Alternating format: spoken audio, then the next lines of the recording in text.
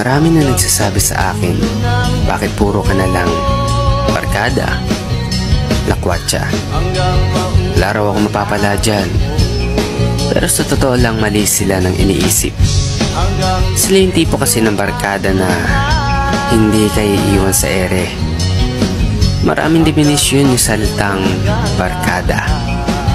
Hindi naman porke barkada ay puro kamalian ay tinuturo. Minsan nga sasabayin ka at tutulungan pa sa lahat. Yung tipong halos sila na yung tumira sa iyo, mag-alaga sa iyo.